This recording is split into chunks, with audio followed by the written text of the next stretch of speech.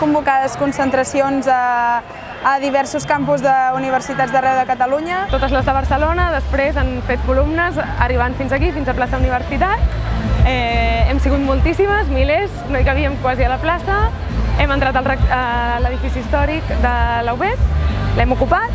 Hi havia tantíssima gent a dins que s'ha quedat molta gent aquí a la plaça.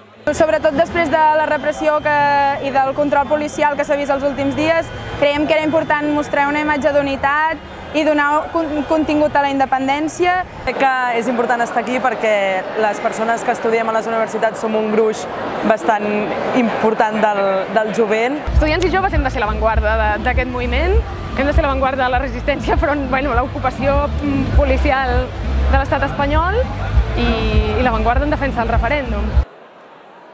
Hem ocupat eh, l'edifici històric perquè és un lloc molt simbòlic, ja bueno, recuperem una mica la tradició de les lluites estudiantils al final del franquisme.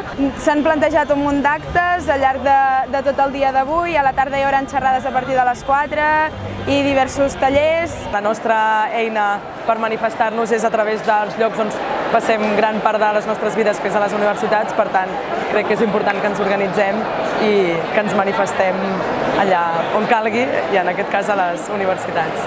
És fer, trobar un espai com a punt de trobada de totes les estudiants i poder doncs, debatre, plantejar què fem pel referèndum, etc.